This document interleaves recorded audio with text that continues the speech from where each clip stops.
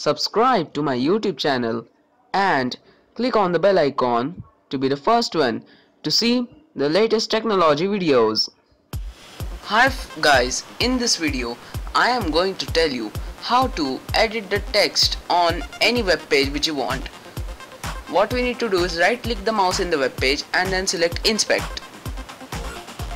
And now click on this mouse pointer icon and take the mouse to wherever whichever area you want to edit and then click on it. Now in the inspect window some text area will be highlighted which will contain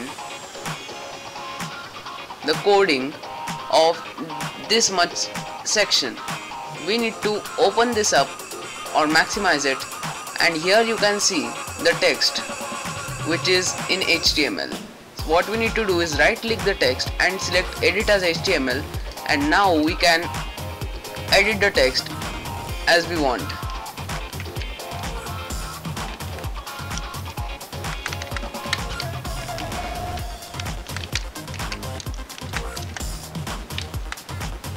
And then again clicking on this will make the changes.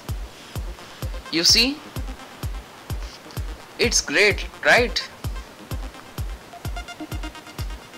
So friends, thank you for watching.